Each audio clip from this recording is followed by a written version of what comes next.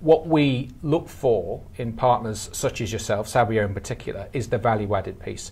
You understand and can have the conversations with the schedulers in the contact center about the way in which the environment operates and how it can be changed, deploying the technology which we make available and which you then add value to through development of bespoke applications, bespoke routines.